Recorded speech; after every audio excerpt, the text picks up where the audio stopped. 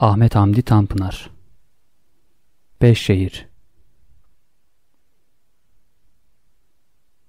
Beş şehrin asıl konusu hayatımızda kaybolan şeylerin ardından duyulan üzüntü ile yeniye karşı beslenen iştiyaktır. İlk bakışta birbiriyle çatışır görünen bu iki duyguyu sevgi kelimesinde birleştirebiliriz. Bu sevginin kendisine çerçeve olarak seçtiği şehirler benim hayatımın tesadüfleridir. Bu itibarla onların arkasında kendi insanımızı ve hayatımızı, vatanın manevi çehresi olan kültürümüzü görmek daha doğru olur.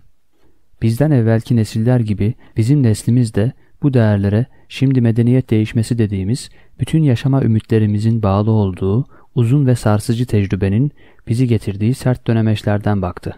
150 senedir hep onun uçurumlarına sarktık. Onun dirseklerinden arkada bıraktığımız yolu ve uzakta zahmetimize gülen vaitli manzarayı seyrettik. Tenkidin, bir yığın inkarın, tekrar kabul ve reddin, ümit ve hulyanın ve zaman zaman da gerçek hesabın ikliminde yaşadığımız bu macera, daha uzun zaman yani her manasında verimli bir çalışmanın hayatımızı yeniden şekillendireceği güne kadar Türk cemiyetinin hakiki dramı olacaktır. Gideceğimiz yolu hepimiz biliyoruz. Fakat yol uzadıkça ayrıldığımız alem bizi her günden biraz daha meşgul ediyor. Şimdi onu hüviyetimizde gittikçe büyüyen bir boşluk gibi duyuyoruz. Biraz sonra bir köşede bırakıvermek için sabırsızlandığımız ağır bir yük oluyor. İrademizin en sağlam olduğu anlarda bile içimizde hiç olmazsa bir sızı ve bazen de bir vicdan azabı gibi konuşuyor. Sade millet ve cemiyetlerin değil, şahsiyetlerin de asıl mana ve hüviyetini, çekirdeğini tarihilik denen şeyin yaptığı düşünülürse, bu iç didişme hiç de yadırganmaz. Mazi daima mevcuttur. Kendimiz olarak yaşayabilmek için onunla her an hesaplaşmaya ve anlaşmaya mecburuz. Beş şehir, işte bu hesaplaşma ihtiyacının doğurduğu bir konuşmadır. Bu çetin konuşmayı aslı olan meselelere biz neydik, neyiz ve nereye gidiyoruz suallerine indirmek ve öyle cevaplandırmak belki daha vuzuhlu hatta daha çok faydalı olurdu. Fakat ben bu meselelere hayatımın arasında rastladım. Onlar bana Anadolu'yu dolduran Selçuk eserlerini dolaşırken, Süleymaniye'nin kubbesi altında küçüldüğümü hissederken, Bursa manzaralarında yalnızlığımı avuturken, divanlarımızı dolduran kervan seslerine karışmış su seslerinin gurbetini, Itri'nin, Dede Efendi'nin musikisini dinlerken geldiler. Hiç unutmam. Uludağ'da bir sabah saatinde dinlediğim çoban kavalına birbirini çağıran koyun ve kuzu seslerinin sarıldığını gördüğüm anda gözlerimden sanki bir perde sıyrılmıştır. Türk şiirinin ve Türk musikisinin bir gurbet macerası olduğunu bilirdim. Fakat bunun hayatımızın bu tarafına sıkı sıkıya bağlı olduğunu bilmezdim. Manzara hakikaten güzel ve dokunaklıydı. 5-10 dakika bir sanat eseri gibi seyrettim. Bir gün Anadolu insanının his tarihi yazılır ve hayatımız bu zaviyeden gerçek bir sorgunun süzgecinden geçirilirse, moda sandığımız birçok şeylerin hayatın kendi bünyesinden geldiği anlaşılır. Bir kelimeyle benim için bu meselelerin kendileri kadar onların bana gelişleri, ruh hallerimi benimseyen, içimdeki yürüyüşleri de mühimdi. Zaten kitap parça parça yaşanmış şeylerden doğdu. Kitabın ikinci baskısı için zaruri gördüğüm ilave ve değişmelerde bile bu ilk rastlayışın izlerinin olduğu gibi kalmasına çalıştım. Her iki baskıyı birden okuyanlar bu ilaveler arasında bilhassa Selçuk devrine doğru bir genişleme göreceklerdir. Tarihçilerimiz Selçuk ile Osmanlı arasındaki farkı bir hanedan değişmesinde görmekte fazla ısrar eder gibidirler. Biz ise bu farkın muaşeretten, üsluba, insan ve zevke kadar derinleştiğine inanıyoruz.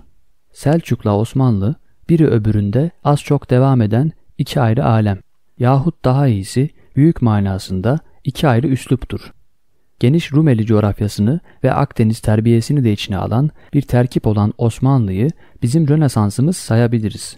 Biz bugün Selçuk'u geçen asrın başlarında Avrupa'nın gotik ve Roman sanatlarını yeniden keşfetmesi gibi keşfetmiş bulunuyoruz. Onu görebilmemiz için Osmanlı'nın içinden çıkmamız lazım geliyordu. Selçuk eserlerinin bugünkü harap durumunda iktisadi buhranlar kadar bu çok mühim zevk ayrılığının içten kopmanın da bir payı olsa gerektir. Okuyucu beş şehirde buna benzer birçok tekliflere veya cesaretlere rastlayacaktır. Her düşünen insanımız gibi ben de hayatımızın değişmesi için sabırsızım. daima hayranı olduğum yabancı bir romancının hemen hemen aynı şartlar içinde söylediği gibi eski bir garpçıyım. Fakat canlı hayata, yaşayan ve duyan insana cansız madde karşısındaki bir mühendis gibi değil, bir kalp adamı olarak yaklaşmayı istedim. Zaten başka türlüsü de elimden gelmez. Ancak sevdiğimiz şeyler bizimle beraber değişirler ve değiştikleri için de hayatımızın bir zenginliği olarak bizimle beraber yaşarlar. Ankara 25 Eylül 1960 Ahmet Hamdi Tanpınar Ankara Belki milli mücadele yıllarının bıraktığı bir tesirdir. Belki doğrudan doğruya çelik zırhlarını giymiş, ortada dolaşan bir eski zaman silahşoruna benzeyen kalesinin bir telkinidir Ankara. Bana daima dasitani ve muharip göründü. Şurası var ki şehrin vaziyeti de buna müsaittir. Daha uzaktan gözümüze çarpan şey iki yassı tepenin arasındaki geçidiyle tabii bir istihkam manzarasıdır. Bu his şehrin etrafında ve ona hakim tepelerinden bakarken pek küçük farklarla ancak değişir. Çankaya sırtları, çiftlik, baraj yolları, etlik, keçiören bağları, velhasıl nereden bakarsanız bakınız, cam gibi keskin bir ışık altında bu kaleyi, bütün arazi terkiplerini kendisinde topladığı ufka hep aynı sükunetle hakim görürsünüz. Bazen geniş sağrısını rüzgara vermiş bir harp gemisi gibi zaman ve hadiselerin denizinde çevik ve kudretli yüzer, bazen bir iç kale, bütün ümitlerin kendisinde toplandığı son sığınak olur, bazen bir kartal yuvası gibi erişilmesi imkansız yükselir. Şehrin tarihi bu çehreyi yalanlamaz. O bütün Orta Anadolu'ya bir iç kale vazifesini görmüş eteklerinde daima tarihin büyük düğümleri çözülüp bağlanmıştır. Etilerin, Frikyalıların, Lidyalıların, Roma ve Bizans'ın, Selçuk ve Osmanlı Türklerinin zamanlarında bu hep böyle olmuştur. Roma Kartalı şarka doğru uçuşu için bu kaleyi seçmiş, Bizans-Arap mücadelesinin en kanlı safhaları burada geçmiştir. Selçuk zamanında Bizans'ın Anadolu içinde son savleti 1197 yılında burada kırılmıştır. Kılıç Arslan'ın ve Melik Danışmend'in müşterek zaferi olan bu muharebeden sonra Bizans Kartalı bir daha Anadolu'da uçamaz. Yıldırım Timur Lenk'le yani talihinin zehirden acı yüzüyle yine Ankara'da karşılaşır. Kısacası Anadolu kıtasının kaderinde az çok değişiklik yapan vakaların çoğu onun etrafında gelişir. Bu hadiselerin en mühimi şüphesiz en sonuncusu olan İstiklal Savaşı'dır. Bu muharebe sadece Türk milletinin kendi hayat haklarını yeni baştan kazanmış olduğu harp değildir.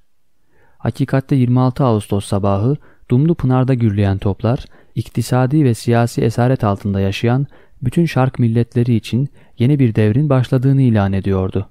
Onun içindir ki bundan böyle her zincir kırılışının başında Ankara'nın adı geçecek ve her hürriyet mücadelesi Sakarya'da, İnönü'de, Afyon'da, Kütahya ve Bursa yollarında ölenlerin ruhuna kendiliğinde ithaf edilmiş bir dua olacaktır. Atatürk'ün hemen herkesin gördüğü, mektep kitaplarına kadar geçmiş bir fotoğrafı vardır. Anafartalar ve Dumlu Pınar'ın kahramanı, son muharebenin sabahında tek başına, ağzında sigarası, bir tepeye doğru ağır ağır ve düşünceli çıkar. İşte Ankara Kalesi, muhayyilemde daima ömrünün en güneşli saatine böyle yavaş yavaş çıkan büyük adamla birleşmiştir. Bu şaşırtıcı terkip nasıl oldu? Eğer böyle bir şey lazımsa vatanın her tepesinde aynı şekilde tahayyül ve tasavvur etmem icap eden bir insanla bu kale bende nasıl birleştiler bunu hiçbir zaman izah edemem. Bu cins yaklaştırmalar insan muhayyilesinin en sırlı tarafıdır. Bildiğim bir şey varsa bir gün bu fotoğrafa bakarken Ankara Kalesi kendiliğinden gözlerimin önüne geldi ve ben bir daha bu iki hayali birbirinden ayıramadım. 1928 sonbaharında Ankara'ya ilk geldiğim günlerde Ankara Kalesi benim için adeta bir fikri sabit olmuştu.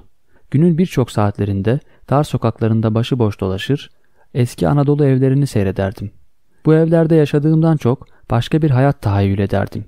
Onun içindir ki Yakup Kadri'nin Ankara'sının çok sevdiğim ve doğruluğuna hayran olduğum baş taraflarını okurken içim burkulmuştu. Hala bile bu keskin realizmin ötesinde bütün imkansızlığını bilmeme rağmen bir anlaşma noktası bulunabileceğine inanırım. Saman pazarından bugünkü eski Dışişleri Bakanlığı'na inen eski Ankara mahalleleri, çarşıya ve kaleye çıkan yollar, cebeci tarafları üzerimde hep bu tesiri yapardı. O bir çare kerpiç evlerin bütün fakirliğini iyi bilmekle beraber kendimde olmayan bir şeyi onlarla tasavvur ederdim. Onların arasında bir sıtma nöbetine benzeyen ve durmadan bir şeylere, belki de fakirliğin altında tasavvur ettiğim ruh bütünlüğüne sarılmak, onunla iyice bürünmek arzusunu veren bir ürpermeyle dolaşırdım.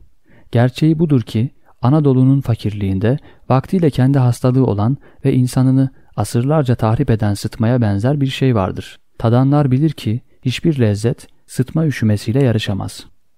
Kaç defa Cebeci'de veya kalede bu evlerden birinde oturmayı düşündüm. Fakat evvela Ankara Lisesi'nde sonra Gazi Terbiye Enstitüsü'nde o kadar cemiyetli bir hayatımız vardı ki bir türlü bırakamadım. Zaten o seneler Ankara memurlarının çoğu resmi dairelerde hatta vekaletlerde kalıyorlardı. Hakikatte şehir bir taraftan milli mücadeledeki sıkışık hayatına devam ediyor, bir taraftan da yeni baştan yapılıyordu. Her tarafta bir şantiye manzarası vardı. Hiçbirinin üslubu yanı başındakini tutmayan, çoğu mimari mecmualarından olduğu gibi nakledilmiş villalarıyla, küçük memur mahalleleriyle yeni şehrin kurulduğu devirdi bu. Tek bir sokakta Riviera, İsviçre, İsveç, Bavyera ve Abdülhamit devri İstanbul'u ev ve köşklerini görmek mümkündü. Yeni yapılmış sefaret binaları da bu çeşidi artırıyordu. Sovyet sefareti modern mimarinin kendisini aradığı bu 1920 yıllarının en atılgan tecrübelerinden biriydi ve daha ziyade büyük bir vapura benziyordu. İran sefareti eski Sasani saraylarının hatıralarından bir şark üslubu aramıştı. Biz birkaç arkadaş Belçika sefaretinin sakin ve gösterişsiz klasik yapısını seviyorduk. Bu tecrübeler arasında Türk mimarisi de kendine bir üslup yaratmaya çalışıyordu. Türk Ocağı binası, etnografya müzesi olan bina, Gazi Terbiye Enstitüsü, İstanbul'da yeni postahane ve 4. Vakıf Hanı ile başlayan tecrübenin devamıydılar.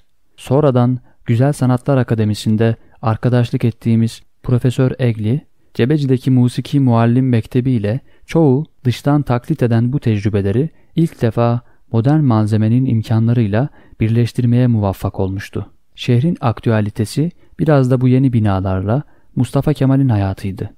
Bu nerede basıldığı bilinmeyen, hatta hiç elinize geçmeyen fakat sizden başka herkesin okuduğu ve her ağzın beraberce size naklettiği bir gazeteye benziyordu. Öyle ki aynı fıkrayı herkesin adeta zaruri olarak günde birkaç defa birbirine rastladığı bu şehirde bir saat içinde 20 kişi birden size anlatabilirdi. Bir tek tefrikası vardı. Şehrin her köşesinin rast geldiğiniz her insanın naklettiği çetin savaş ve karar günleri. Bu insanların kendileri yaşadıkları şeyleri anlatmasalar bile siz o günlerdeki hayatlarını yine tasavvur edebilirdiniz. Bununla beraber her şeyi o kadar büyük ve cazip gösteren büyü artık gitmişti. Beş sene evvelinin tarihini yapanlar onun aydınlığından çıkmışlar, günlük şeylerin ışığında yaşıyorlardı. Yalnız Mustafa Kemal kendi lejender hayatına devam ediyordu. Ankara, uzun tarihinin şaşırtıcı terkipleriyle doludur. Asırlar içinde uğradığı istilalar, üst üste yangınlar ve yağmalar, şehirde geçmiş zamanların pek az eserini bırakmıştır. Acayip bir karışıklık içinde bu tarih, daima insanın gözü önündedir.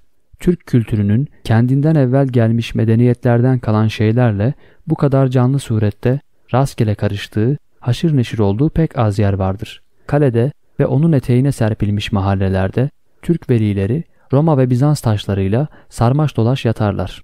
Dedelerimizin mezarlarından çıkan yeşillikler, hangi itikatların etrafında yontuldukları belli olmayan çok eski taşları kendi rahmaniyetleriyle yumuşatırlar. Burada kerpiç bir duvardan İonya tarzında bir sütun başlığı veya arkitraf fırlar, ötede bir türbe merdiveninin basamağında bir Roma konsülünün şehre gelişini kutlayan kadın bir taş görünür. Daha ötede bir çeşme yalağında eski bir lahdin bakantaları gülümser. Ahi Şerafettin'in türbesini asırlarca Greko-Romen arslanlar bir nöbetçi sadakatiyle beklerler ve bu yüzden Arslan Hane adını alan caminin hakikaten eşsiz mihrabında Etilerin toprak ve bereket ilahesinden başka bir şey olmayan bir yılan, son derece kuvvetli plastikliğiyle meyveler arasında dolaşır ve caminin o kadar şaşırtıcı bir safiyetle boyanmış ağaçtan sütunları, Bizans ve Roma başlıkları taşır. Hisar'da, mihrabı, Türk tahta işçiliğinin harikalarından biri olan Alaaddin Camii'nin sekisi, asırlardan beri bir şahin gibi süzdüğü ovaya terkibi baştan aşağı tesadüfi olan bir sütun dizisinin arasından bakar Şüphesiz bu sütunlar orada bu camiden çok daha evvel mevcuttular. Bu terkiplerin en manalısı İmparator Augustus'un şerefine toprağa dikilmiş mermer bir kaside olan Roma mabedinin kalıntılarıyla yanı başındaki Hacı Bayram-ı Veli Camii'nin beraberce teşkil ettiği zıtlar mecmuasıdır. Bitmiş veya tam diyebileceğimiz hiçbir eser bu toprağın macerasını bu kadar güzel hülasa edemez. Hacı Bayram'ı Roma Kartalı'nın bu mermer yuvasında çilehanesini seçmeye götüren gizli tesadüf nedir? Caminin altındaki dar çile odasında geçirdiği ibadet ve murakabe saatlerinde yanı başında güneş vurdukça yaldızlı akislerle pırıldayan ve üstüne diz çöktüğü toprakta bir nevi İva gibi gizlenmiş duran bu taştan dünya, kendisininkinden büsbütün ayrı zaferleri terennüm eden bu iyi yontulmuş mermerler, o sert ve kibirli Roma hemşehrisi çehreleri acaba onu rahatsız etmiyor muydu? Bu velinin rahmani rüyasına komşularının mağrur sükutundan sızan düşünce ve duyguları bilsek ne kadar iyi olacaktı. Roma, şan ve şevketinin içinde maddi hazlarla sarhoş, fütühatlarını yaptı, müesseselerini kurdu, kanunlarını düzeltti. Kale, köprü, yol, su kemeri, mabet, hamam, hipodrom, heykel ve bin türlü abideyle yaşadığı zamanı muharip hanlığını süsleyen çelenklerle beraber taşa toprağa tespit etti. Aradan asırlar geçti. Bu mağrur muharip, yorulan sinirleri kanlı ve şehvetli oyunlarla uyuşturmaya çalışırken Cihangir haritası acemi avcı elinde kalmış bir kaplan postu gibi parçalanıp yırtıldı. Ankara şehri imparatorluğun arazisinin yarısından fazlasıyla beraber büsbütün başka bir milletin eline geçti. Kadim medeniyetin eserleriyle örtülü toprakta yeni bir nizam çiçek açtı. Küçük, mütevazı mabetlerde başka bir Allah'a ibadet edilmeye, Ankara Kalesi'nin üstünde başka türlü hasretlerin türküleri söylenmeye başlandı. Ve günün birinde bu toprağın yeni sahipleri içinden yetişen saf yürekli bir köylü çocuğu, Roma'nın zafer mabedi ve biraz sonra da Bizans bazilikası olan bu abidenin yanı başına muhacir bir kuş gibi yerleşti ve insanlara kadim imparatorluğun ayakta durmasını sağlayan hakikatlerinden çok başka bir hakikatin sırrını açtı. Bu ledünni hazların, ahiret saadetlerinin, kendisini sevgide tamamlayan ruhun, bir nur tufanı gibi iştiyakın, kendi derinliklerinde Allah'ı bulan bir murakabenin hakikatiydi. Hacı Bayram, eriştiği bu hakikatin şevkiyle, bilmek istersen seni, can içre ara canı, geç canından bul anı, sen seni bil sen seni, diye haykırır. Fakat Hacı Bayram, sade hakla hak olan bir veli değildir. Türk cemiyetinin bünyesinde gerçekten yapıcı bir rol de oynar. Kurduğu Bayramiye tarikatı, esnaf ve çiftçinin tarikatıdır. Böylece Anadolu'da Horasanlı Baba İlyas'la başlayan geniş köylü hareketiyle ahilik teşkilatı onun etrafında birleşir. Daha sağlığında hareket o kadar genişler ki 2. Murat yanı başında gelişen bu manevi saltanattan ürkerek Şeyhi Ankara'dan Edirne'ye getirtir ve ancak niyetlerinden iyiden iyiye emin olduktan sonra onu geriye göndermeye razı olur. Hakikatte bu telaşa hiç lüzum yoktu. Hacı Bayram imparatorluğun iç nizamını yapıyordu. Çok defa Ankara Ovası'na bakarken Hacı Bayram'ın ömrünün sonuna kadar müritleriyle ekip biçtiği tarlaları düşünürüm. Acaba hangi tarafa düşüyordu? Belki de kendi yattığı caminin bulunduğu yerlere yakındı. Bütün ova onun zamanında İMC ile işleniyordu. Anane Hacı Bayram'la İstanbul fethinin manevi ve nurani yüzü olan Akşemseddin'i bu ovada karşılaştırır. Akşemseddin o zamanlar devrinin ilmini ilahiyattan tıbba, nahivden musikiye kadar öğrenmiş fakat bir türlü ruhundaki susuzluğu gideremediği için yüzünü tasavvufa çevirmiş, kendisine mürşit arayan genç bir alimdi. Nihayet dayanamayıp Şeyh Zeynettin Hafi'nin yanına gitmek için Osmancık medresesindeki müderrisliğini bırakıp yola çıkar. Fakat Halep'te bir gece rüyasında bir ucu boynuna geçmiş bir zincirin öbür ucunu Hacı Bayram'ın elinde tuttuğunu görür ve nasibinin Hacı Bayram'dan olduğunu anlar, yoldan döner. Ankara'ya geldiği zaman Hacı Bayram'ı müritleriyle ovada mahsul toplarken görür. Yanına yaklaşır. Fakat iltifat görmez. Aldırmayarak işe girişir. Yemek zamanına kadar şeyhin müritleriyle beraber çalışır. Yemek vakti olur. Hacı Bayram kendi eliyle aş dağıtır. Fakat Akşemseddin'in çanağına ne burçak çorbası ne yoğurt koyar. Artan aşı da köpeklerin önüne döker. Akşemseddin darılıp gideceği yerde şeyhin kapısının köpekleriyle ve onların çanağından karnını doyurur. Bu alçak gönüllülük, bu teslim üzerine Hacı Bayram onu yanına çağırır, müritliğe kabul eder. Ölünce de kendisine halef olur. yahut hiç olmazsa tarikatın fazlaca şeriatçı kolu onu şeyh tanır. Fatih'e İstanbul'un fethinde o kadar yardım ettikten sonra çekilip köyüne gidecek kadar vakar ve haysiyet sahibi olan, mektuplarında ona sahip olduğu manevi rütbeden bir akran gibi hitap eden, nasihatler veren, eğer padişaha huzuri surimiz matlub ise biz anda varırız veya padişahla diyar Arabı beraberce fethederiz diye ufuk gösteren Akşemseddin'in şeyhinin köpekleriyle bir sofraya oturması ancak 15. asır Türkiye'sinde görülür. Hacı Bayram'ın kainatı ve insanı beraberce oluş halinde gösteren bir manzumesi vardır ki bilhassa bir beyti bu 10-15. asır Türkiye'sinin adeta manzarasını çizer. Nagehan Olşar'a vardım. Olşar'ı yapılır gördüm. Ben dahi bile yapıldım.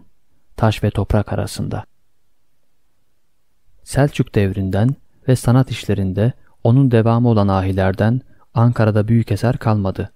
Konya ve Sivas'ta, Niğde ve Kayseri'de, Aksaray'da görüp taş işçiliğine hayran olduğumuz o büyük kapılı binalar sırlı tuğladan alaca kanatlı bir kuş gibi sabah ışıklarında uçan minareler Ankara'da yoktur.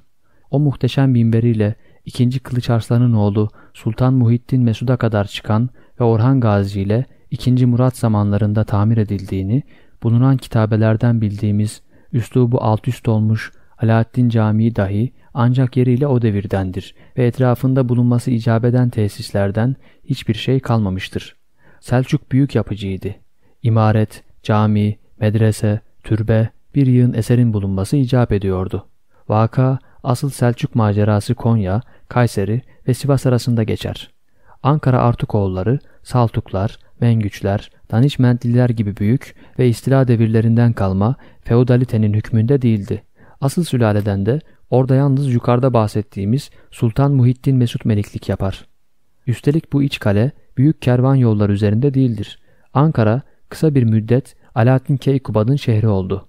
Bu kabına sığmayan fakat tahta geçer geçmez yaptığı işlerle saltanat hırsına hiç olmazsa devrin örfü içinde hak verdiren padişah, babası 1. Gıyasettin Keyhüsrev, İznik İmparatorluğu hudutlarında yaptığı muharebede şehit olur olmaz, abisi ve gurbet arkadaşı İzzettin Keykaus'un elinden tahta almak için harekete geçer ve muharebeyi kaybedince Ankara kalesine kapanır. Şehir uzun müddet şehzadenin davasını tutar. Fakat zafer ümidi kalmayınca konuşmalar başlar. Hayatına dokunulmamak şartıyla teslim olur. Uzayan muhasara esnasında İzzettin'in karargahında padişah ve maiyetindeki beyler için köşkler, evler yaptırılmıştı. Ayrıca İzzettin Keykaus şehrin dışında bir de medrese yaptırmıştı. Alaaddin Keykubat kendisi kadar büyük bir hükümdar olan kardeşinin Sivas'ta veremden ölümü üzerine kapatıldığı Malatya Kalesi'nden çıkarılıp tahta geçince bu teslimin haceretini ve ölüm korkusuyla geçen günleri hatırlatan bu medreseyi yıktırır. Kendi adıyla anılan camini bu muhasara günlerinin hatırası olarak yaptırmış yahut da o günlerde tamir ettirmiş olması çok mümkündür. Ankara, Alaaddin Keykubat'ın ölümünden sonra Selçuk tarihinin büyük facialarından birine şahit olur. Oğlu 2. Gıyasettin Keyhüsrev'in veziri, o çok zalim, alabildiğince Haris Saadettin Köpek, rakipleri olan Ümera'yı padişahın zaafından istifade ederek bir bir ortadan kaldırırken, Emirül Ümera Taceddin Pervane'yi de vaktiyle bir muganniye ile nikahsız yaşadığı bahanesiyle Konya ulemasından aldığı bir fetva ile burada recmettirir. Taceddin Pervane, Saadettin Köpek'in emirler arasında yaptığı temizliğin başında onunla berabermiş. Fakat Haris vezirin işi azdırdığını görünce sıranın kendisine geleceğini anlayarak hükümdar tarafından idaresi ve hasılatı kendisine verilen Ankara'ya çekilmiş. Saadettin bu son rakibini ortadan kaldırmak için elinden fetva iki günde Konya'dan Ankara'ya o zamana göre yıldırım süratiyle gelir ve şehrin ayak takımını yarı beline kadar toprağa gömülü bu kumandanı öldürmeye İbni Bibi'nin tabiriyle mecbur eder. Gariptir ki aynı vezir baba katili Gıyasettin'in elinden saltanatı almak için 1. Gıyasettin Keyhüsrev'in Şehnaz adlı Konyalı güzel bir kadından doğan gayrimeşru çocuğu olduğunu etrafa yayıyordu. Ma Mafih İbni Bibi bu meseleden bir hakikat gibi bahseder. Kanlı ölümün o kadar sık görüldüğü o devirlerde bile bu vaka tek başınadır. Ve haysiyet kırıcı şekliyle ister istemez çekememezliğe büyük bir hıncın da karıştığını düşündürüyor. Selçuk camilerinin planında olan ahi eserlerine gelince onlar da ancak mihrap ve minberlerindeki işçilikle ve sütunları ile güzeldir. İç kalenin eteklerinde hiç olmazsa bugünkü vaziyetlerinde şehre büyük bir şey ilave etmezler. İster Moğollara tabi olsun, isterse müstakil olsun, Ankara'da süren yarım asır bir ahi hakimiyeti vardır. Bu, burjuvazi değilse bile artizananın ve çarşının şehri idaresi demektir ki şark tarihinde az tesadüf edilir.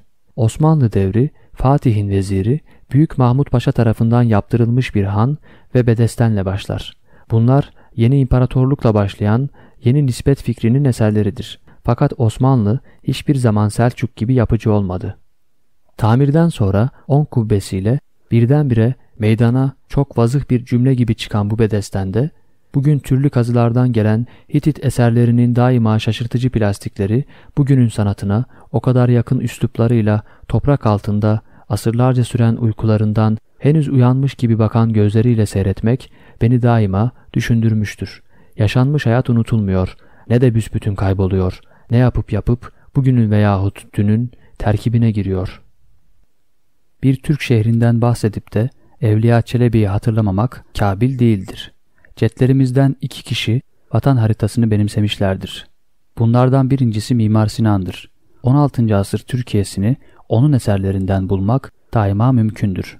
İmparatorluğun bu dehadan payını almamış pek az büyük şehri vardır. O kadar ki Sinan denilince gözümün önünde son derece nispetli, yontulmuş bir mücevher dizisine benzeyen irili ufaklı binalar ta Macaristan içerisinden başlayarak Akdeniz'e ve Basra körfezine kadar iner. İkincisi başlı başına bir vatan aynası olan Evliya Çelebi'dir. Bu ayna bazen ufak ilavelerle fakat daima aslın büyük çizgilerine sadık kalarak bütün 17. asır Türkiye'sini verir. Evliya Çelebi'nin Ankara'sı muhasırı olan yahut sonradan gelen seyyahlarınkine benzemez. Daha ziyade fantastik bir sergüzeştin etrafında toplanır. Ankara'ya gelen Evliya, vaka bu şehri, kalesi, Hisarı, Paşa Sarayı, Serdarı, hususi kazanç kaynakları, bahçelerinin meyvası, mektep ve medrese, cami sayıları ve adetleriyle tasvir etmekten geri kalmaz. Fakat asıl orkestrasyonunu bugün yattığı yerin adı bile unutulan bir Türk evliyasında yapar. Evliyanın Hacı Bayram-ı Veli için bir hatim başladığı halde kendisini unutmasına üzülen Erdede Sultan gece onun rüyasına girmekle kalmaz, aynı zamanda gayipten gönderdiği bir elçiyle sabahleyin ona kendi merkadini gösterir. Evliya Çelebi'nin el ele Ankara sokaklarında yürüdüğü ve sonra birdenbire fazla tecessüsü yüzünden kaybettiği gayip alemlerden gelen bu rehberin elleri kemikmiş ve sesi toprak altından gelir gibi derin ve boğukmuş. Verdiği izahlara göre tasavvuf tarihinde mühim yeri olması lazım gelen bu Erdede Sultan'ı bu sefer Ankara'da epeyce aradım. Bu vesileyle bilmediğim birçok şeyi öğrendiğim halde onu bir türlü bulamadım. Yalnız bu işlerle yakından ilgili bir Ankaralı'dan Kuş Baba diye anılan bir eski yatırın bu erde de sultan olması ihtimali bulunduğunu ve mezarının da şimdiki hal civarında yeni yapılan bir mektebin altında kaldığını öğrendim. Seyahatlerine doğruluğundan şüphe ettirecek derecede latif ve mizahi bir rüya ile başlayan Evliya Çelebi'nin rüyalarına ne kadar inanabiliriz? Bunu pek bilemem. Zaten ben Evliya Çelebi'yi tenkit etmek için değil, ona inanmak için okurum. Ve bu yüzden de daima karlı çıkarım. Hikayesini okuduktan sonra kale ve eski Ankara'da yaptığım gezintilerden dönerken çok defa bu yollarda bir sabah vakti Evliya Çelebi'nin yanında gayb aleminden gelmiş rehberiyle konuşa konuşa yürümüş olması ihtimali benim için şehrin mazisiyle yaşadığım saati birleştiren garip bir zevk oldu.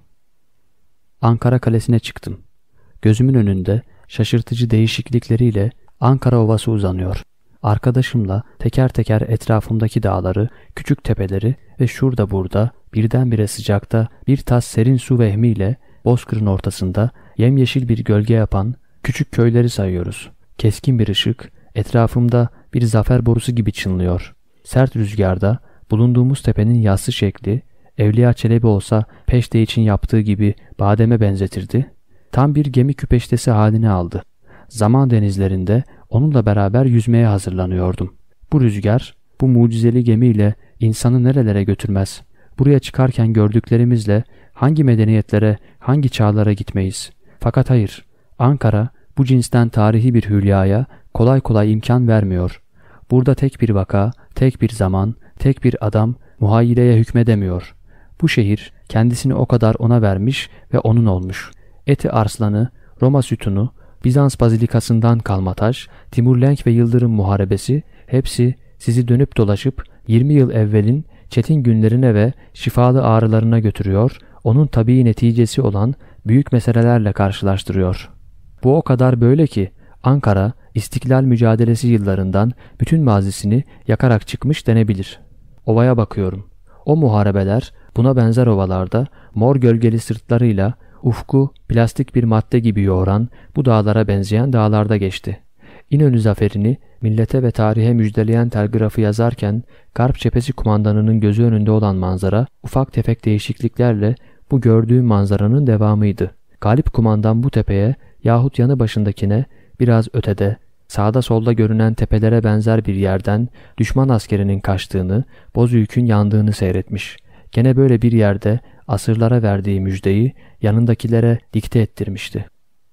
Saat 6.30'dan sonra Metris tepeden gördüğüm vaziyet, Gündüz Bey şimalinde sabahtan beri sebat eden ve dümdar olması muhtemel bulunan bir düşman müfrezesi, sağ cenah grubunun taarruzuyla gayri muntazam çekiliyor, yakından takip ediliyor. Hamidiye istikametinde temas ve faaliyet yok, bozuyuk yanıyor. Düşman, binlerce maktulleriyle doldurduğu muharebe meydanı silahlarımıza terk etmiştir. Garp cephesi kumandanı İsmet. Sade, tok ve son derecede vazıh belagatıyla gözümüzün önünde bir harp sahasını, yangını, ölü ve yaralıları, karışıklığı, ufukta kaçan ve kovalayan muharipleriyle kendi panoraması içinde canlandıran bu satırlara benzer bir edebiyatla ilk defa karşılaşıyorduk.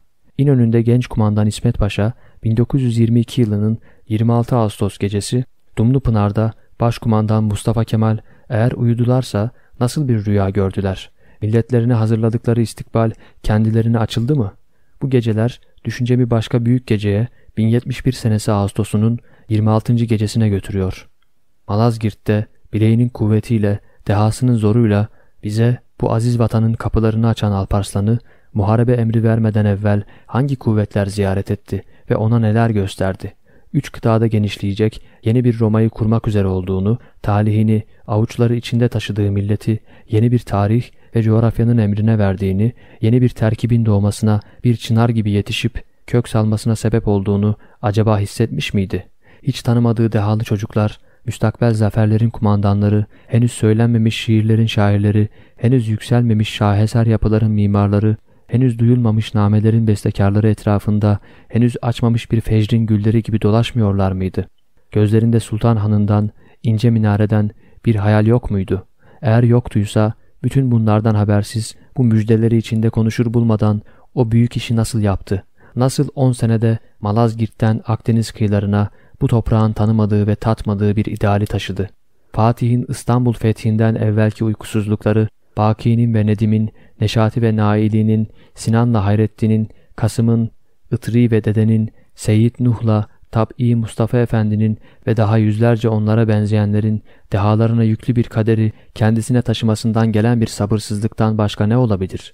Ve eğer o mübarek ağrı olmasaydı bütün bu eserler nasıl doğarlar, hangi mucize ile eski hayat ağacı yeni meyvelerle donanırdı? Mustafa Kemal ve arkadaşlarını Anadolu yollarında dolaştıran, binbir güçlükle güreştiren, yapıcı ve yaratıcı ağrı, Malazgirt'in ve Büyük Fethin başladığı işi asırlar boyunca devam ettirecek ve nasıl Sinan ile Nedim'i, Yunus ile Itri'yi muzaffer rüyalara borçlu isek, gelecek çağların şerefini yapacak olan isim ve eserleri de İnönü'nde, Sakarya ve Dumlupınar'da harita başında geçen uykusuz gecelere ve bu gecelerin ağır yükünü kemik ve kanı pahasına taşıyan isim ve şehit gazilere borçlu kalacağız. Ankara Kalesi bu akşam saatinde bana bir milletin tarihinin ne kadar uzun olursa olsun birkaç ana bakanın etrafında dönüp dolaştığı, birkaç büyük ve mübarek rüyaya, yaratıcı hamlenin ta kendisi olan bir imanın devamına bağlı olduğunu bir kere daha öğretti.